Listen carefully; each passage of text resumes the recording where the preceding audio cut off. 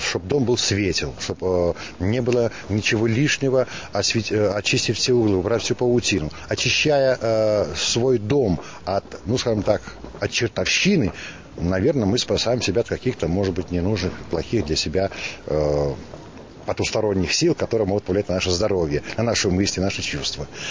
Красить яйца, там чисто четверг моют хорошо.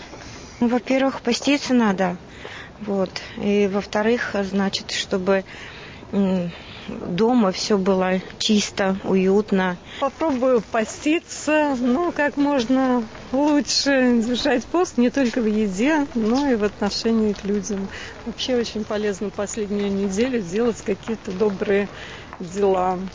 Стараюсь поститься, не нарушать Божьих законов. Стараюсь э, быть э, добрее к людям, к себе, к близким. Будем красить яйца, есть Пасху, как обычно. Все это делают, разглавляются, как люди это называют. Но сходим, конечно, в церковь, там, это обязательно. Ну, у нас, скорее всего, в школе будет проходить какое-нибудь мероприятие, посвященное Пасхе. Скорее всего, мы будем делать определенные поделки, готовить праздничную еду, это куличи, красить яйца. Да. Ну вот. Несмотря... Может быть, сделаем некоторые сценки и э, небольшое мероприятие, чтобы этот праздник стал э, намного лучше и красочней. Пасха, яйца, это, конечно, это всегда было и будет.